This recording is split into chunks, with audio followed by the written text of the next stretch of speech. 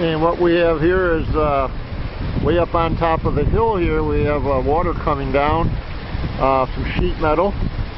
And the water comes down through the sheet metal into a filtered 55 gallon drum. You know, if I can come down here and get a quick picture of this off to the side, uh, you can check it out. It comes down here into a fitting on the bottom of the 55 gallon drum, down to a 4 inch pipe, and down into a 250 gallon Rubbermaid container.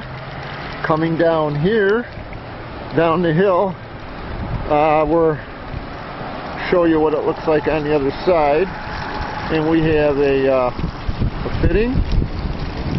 Of course, it's overflowing because there's so much water coming down that uh, on our uh, one inch uh, nozzle coming out of the turbine, uh, what we have is, uh,